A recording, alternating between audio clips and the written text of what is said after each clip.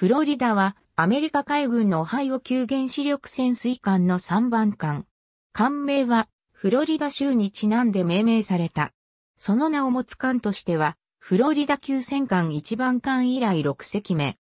フロリダの建造は1975年2月28日に、コネチカット州クロトンのジェネラルダイナミクスエレクトリックボート社に発注され、アメリカ合衆国建国200年記念日の1976年7月4日に寄港した。寄港式では命名がなされなかった。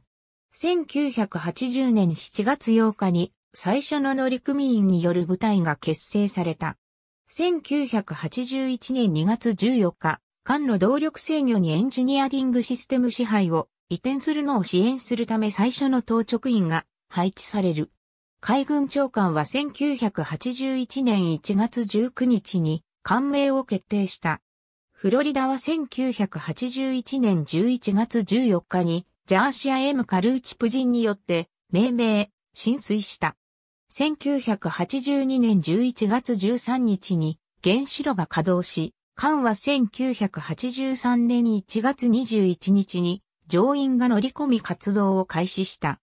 1983年2月21日に最初の海上公務を始め、1983年5月17日に海軍に引き渡された。これは予定より43日早かった。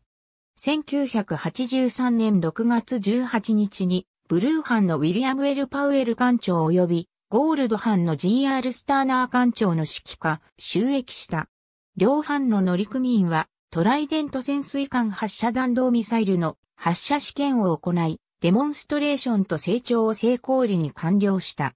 フロリダは2月にパナマ運河を通過し、1984年3月25日にワシントン州バンゴールに到着する。1984年7月25日に最初の戦略抑止紹介を行い、1994年11月の時点で38回の戦略抑止哨戒を完了した。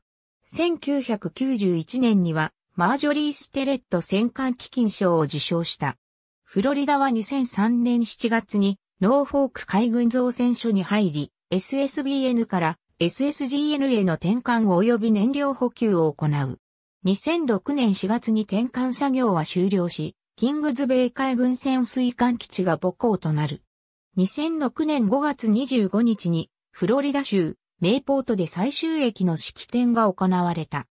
2011年3月、国連安保理決議1973で定められたリビア飛行禁止空域を実行するため、リビア沖でオデッセイの夜明け作戦に従事した。ありがとうございます。